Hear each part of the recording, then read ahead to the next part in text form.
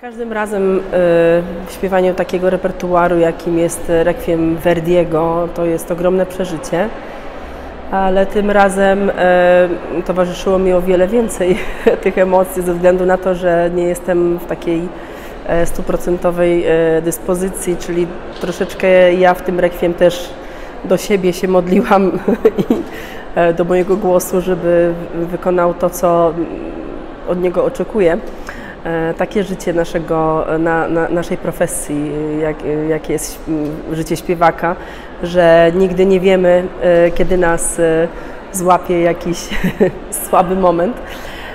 Ale no zawsze, zawsze cieszę, że, że jest taki wspaniały odbiór publiczności, że te zapatrzenie, te zamyślenie to nawet się widzi już w trakcie śpiewania tego dzieła, nie tylko na końcu tak, ludzie są zahipnotyzowani, ludzie jakby e, wyłączają się od tego dnia codziennego, są e, w takim właśnie zamyśleniu.